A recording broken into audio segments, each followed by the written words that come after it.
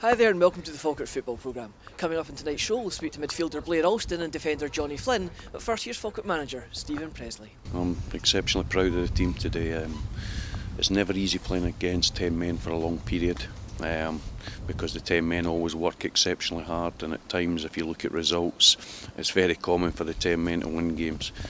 But uh, we spoke at half time about the importance of our work ethic. We spoke about the importance of continuing with our philosophy of passing that ball and not compromising on that. And games go for 90 minutes, as we've just found out. And if you keep doing the things that we believe in and we don't compromise, the chances will eventually come. But uh, you know, again, we've got five players of 18 years old and under starting the game, and, and it's wonderful that we're able to come to a venue like this and win games with such a young side. And uh, as I've said, I'm truly proud of them, and I'm delighted for our supporters. You know, I, I, I just hope we manage to please our supporters today if you look at like the, the game today, I mean the amount of times that we got on the ball in difficult situations and created chances and just kept going and obviously we scored whatever like the 85th or 86th minute, whenever it was that it was you know, 90th minute. Right on the 90 minutes. well then it shows that we'll go right to the end and we never know when to give up. So delighted, yeah.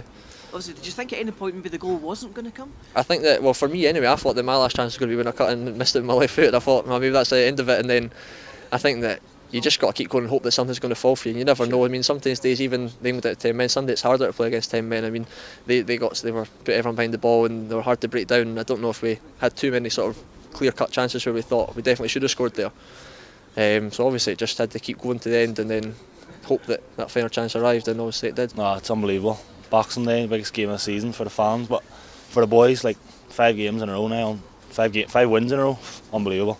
But we'll just ground it out, thank God.